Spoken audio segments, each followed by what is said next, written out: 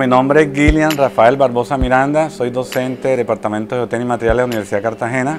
La composición eh, elaboré la línea de investigación que se llama Evaluación de amenazas en zonas urbanas y rurales. Comenzamos a hacer proyectos de investigación con estudiantes en las diferentes problemáticas de las zonas con inconvenientes de deslizamiento, aquí en Cartagena, Cerro La Popa, Loma del Marión, Albornoz, en las zonas con problemas de volcanismo de lodo. Aquí tenemos unos problemas de edificios aquí, o de sectores como Noaranada, Manzanares, en Barranquilla, el sector de Campaleres, toda esa zona occidental y en otras partes de ladera del país. Todos los proyectos están sobre el subsuelo, sobre el terreno. Y el terreno, el conocimiento del terreno es fundamental para poder garantizar la estabilidad del proyecto. Y eso implicaría unos procedimientos y cumplir lo que dice la norma, tanto la norma resistente del 2010 como la norma de puente y todas las normas la parte también de gestión de riesgo implica de que hay que hacer estudios geotécnicos completos, porque si falla el suelo, falla todo lo que está sobre él.